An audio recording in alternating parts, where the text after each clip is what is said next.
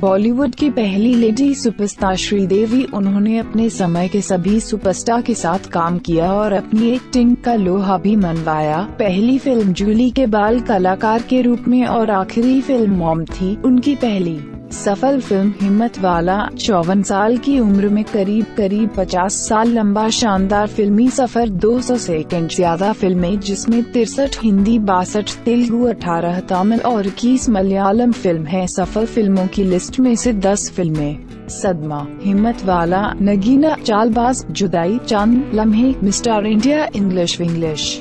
Mom वोलक्स और तनिष्क जैसे दो बड़े ग्लोबल ब्रांड की एम्बेसडर भी थी। हर फ़िल्म के लिए लगभग तीन दशमलव चार करोड़ से चार दशमलव पाँच करोड़ रुपए तक फ़ीस लेती थी। 2018 में श्रीदेवी की नेटवर्थ दो करोड़ रुपए तक हो गई थी। 2011 के बाद से फ़िल्मों में वापसी करने पर इनकी सालाना कमाई तेरह करोड़ रुपए हो गई थी बॉलीवुड की पहली महिला सुपरस्टार के रूप में प्रसिद्ध श्रीदेवी के नाम पर कुछ महँगी कारें और बंगले भी हैं। श्रीदेवी के नाम पर कुल सात गाड़ियाँ हैं जिनकी कीमत लगभग 9 करोड़ रुपए है, इन गाड़ियों में बेंटले के अलावा ज़्यादातर ऑडी और फोर्ड भी शामिल हैं। श्रीदेवी ने अपनी कमाई से तीन घर भी खरीदे थे। इनमें वसोवा और लोखंडवाला का बंगला भी शामिल है।